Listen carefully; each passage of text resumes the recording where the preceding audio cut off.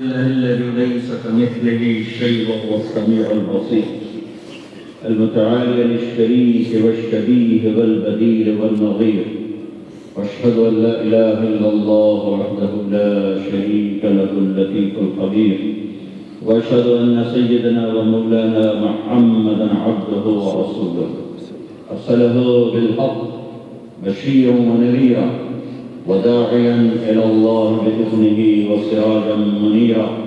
صلى الله تعالى عليه وعلى آله وعلى أصحابه وبارك وسلم تسليما كثيرا كثيرا. أما بعد فمعشر الاخوه أن الله سبحانه وتعالى بين معنى الفوز والفلاح في كتابه العزيز. فمن زحزح عن النار وأدخل الجنة فقد فاز. وما الحياة الدنيا إلا متاع الغرور. وبين معنى الخسران والخير والهلاك والبوار قل إن الخاسرين الذين خسروا أنفسهم وأهليهم يوم القيامة. ألا ذلك هو الخسران المبين. الله لهم من فوقهم ظلل من النار. ومن تحتهم ظلل ذلك يخوف الله به عباده. يا عباد فاتقون. فليس السعيد الذي دنياه تسعده إنما السعيد الذي ينجو من النار. ويقول القائل دنيا تخادعني كأني لست أعرف حالها. مدت إلي يمينها فقطعتها وشمالها منع الإله حرامها وأنا اجتنبت حلالها.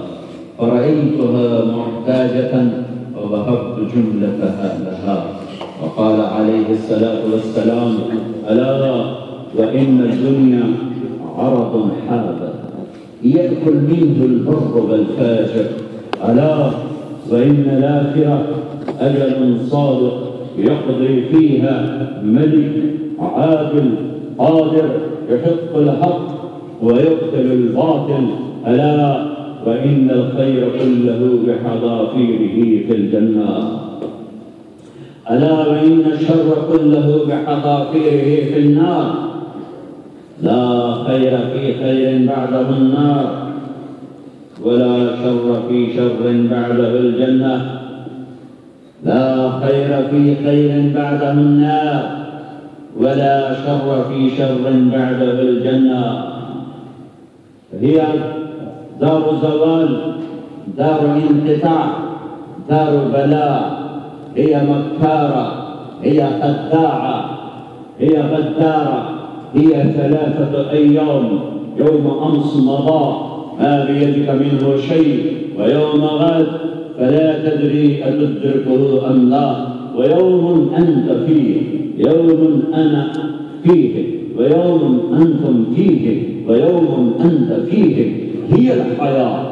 ويقول عليه الصلاة والسلام كم من مقبل يوم لا يكمله. كم من مقبل يوم لا يكمله. فهي لا تساوي عند الله جناح بعوض. هو الخلاق خلق الدنيا وخلق الآخرة. خلق الدنيا وخلق الجنة. خلق هذه من تراب وخلق الجنة من ذهب وفضة. خلق الإنسان من نطفة من مني من ماء من من من نطفة أمشاج. من ماء مهين وخلق أزواج الحور العين من المسك والعنبر والزعفران والكافور شق الأنهار وغرس وغرس الأشجار وغشاها بنور وجهه بنور وجهه. لم يرها أحد من خلقه لم يرها أحد من خلقه. وخلق الفردوس الأعلى وختم عليها وختم عليها. وختم عليها.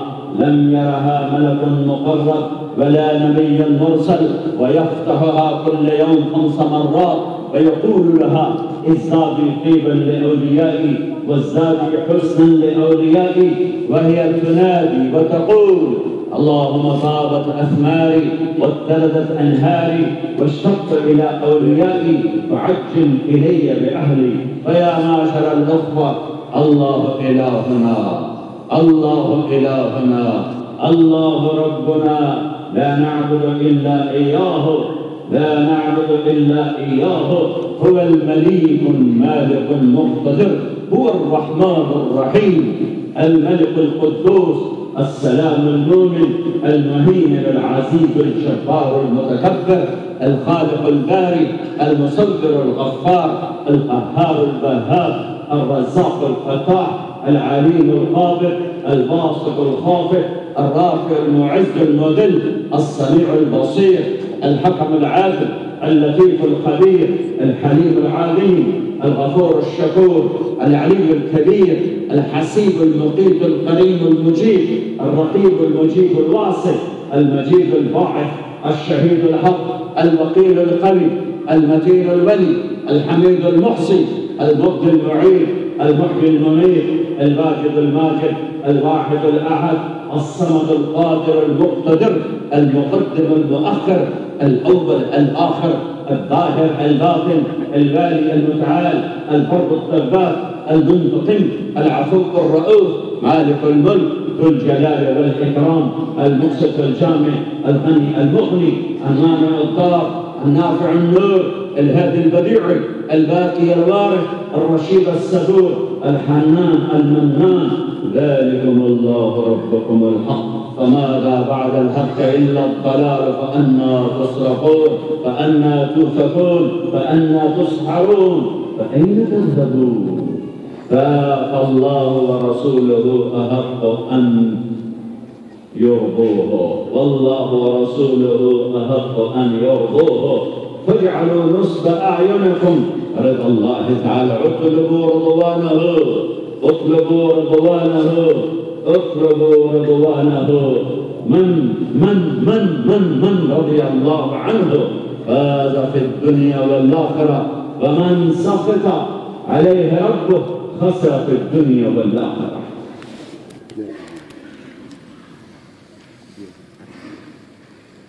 الحمد لله الذي ليس كمثله شيء وهو السميع البصير. الحمد لله الذي خلق فصور والذي قدر فهدى. الحمد لله الذي لا أحصي ثناء عليه وهو كما أثنى على نفسه. واشهد أن لا إله إلا الله احدا صمد وحده لا شريك له واشهد أن سيدنا ومولانا محمدا عبده ورسوله. أما بعد فيا معشر الأخوة إن الفوز والفلاح مربوط الفلاح الذي شرحته في الخطبة الأولى وهو وهو مربوط ومنوط في طاعة محمد صلى الله تعالى عليه وسلم. سيد العرب والعجم سيد الأولين والآخرين. أحبه الله تعالى فجعله حبيبه وخليله وصفيه وكريمه. وقال عز من قائل تبارك الذي نزل القرآن على عبده ليكون للعالمين نذيرا. سماه محمد واحمد والماحي والحاشر والعاقب والفاتح والخاتم وابو القاسم وطه وياسين وسماه في كتاب العزيز بشير ونذير وشاهد ومبشر وداعي إلى الله والسراج منير وسماه المزمل والمدثر وسماه عزيز وحريص ورؤوف ورحيم. الله أكبر. اسمان من أسماء الله تعالى سمى بهما حبيبه سمى نفسه رؤوف وسمى حبيبه رؤوف سمى نفسه رحيم وسمى حبيبه رحيم. هو رسول العرب والعجم. أما أنا فابن عجمي وأن أما أنتم فأبناء العرب ولكن رسولنا ورسولكم الله ألا وهو محمد صلى الله تعالى عليه وسلم.